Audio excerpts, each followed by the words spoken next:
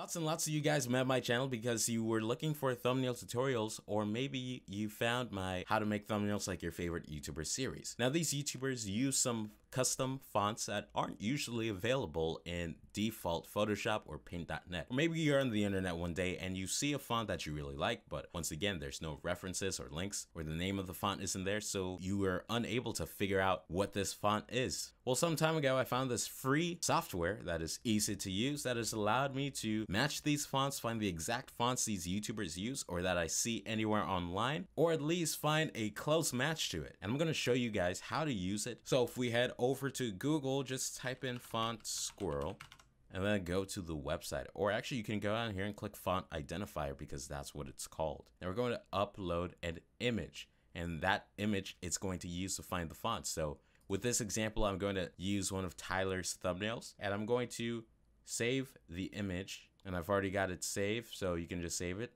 as a JPEG. And once you save it, go back over here and click upload image and double click the thumbnail that you just saved. Once you save your image, you want to go back to the font identifier and click upload image. Then double click the image to upload it. And now this box with a blue border appears and you can resize this box actually to highlight the areas that have the font that you want to get the name of. So just resize it the best you can. It doesn't have to be perfect. Once you're finished resizing it, just click Matcherator. After you click Matcherator, it'll have the cropped image that you created in the previous page. You can read the tips here. After you do that, you can actually scroll down and already it has tried to match the font that you uploaded. But I don't usually go down there. What I do is click manually adjust make sure it's set to method one. And what you can do here is that first of all, delete the ones that uh, didn't come out clearly. So it's created silhouettes of the fonts, the letters that it got from the image. So I'm going to delete these ones because they aren't letters.